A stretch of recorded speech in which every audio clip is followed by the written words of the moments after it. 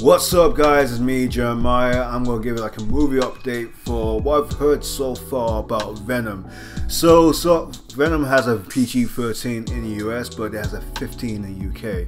So I believe, I'm not so sure, um, I, like um, it's U, PG, 12A, 15, and 18 and we and I don't think it's like rated R in America. You have to be accompanied by adult. I think in the UK, if you're 15, movie's rated 15, you have to be 15 and over, which is kind of tough luck for people under 15.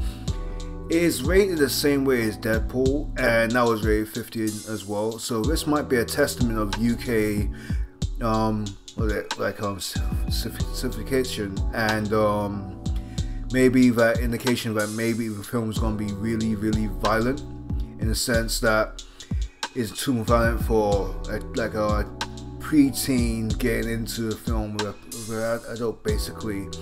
And this just reminds me of um, 15 years ago. No 16 years ago. About um, when the first Spider-Man came out in the UK and it was rated 12 and I remember the big controversy during that time that in the UK that like like um, my primary school friends at the time actually telling my actual actual age.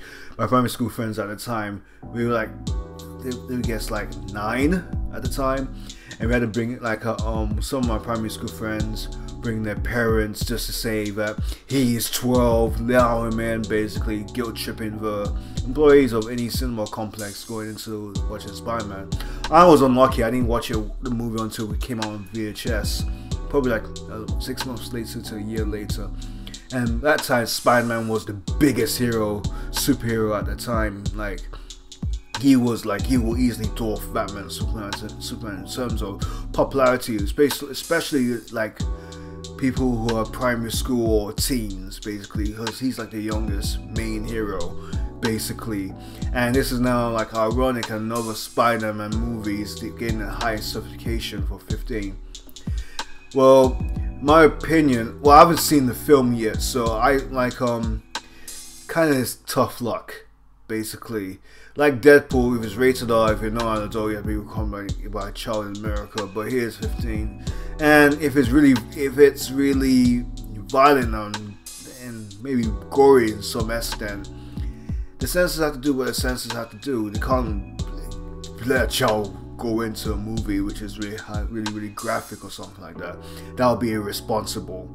And like you can get it on streaming or like um Netflix or Hulu or Prime later on. It's not gonna be a big deal. Oh, do what my primary school friends at the time is bring your parents saying this guy you're 15.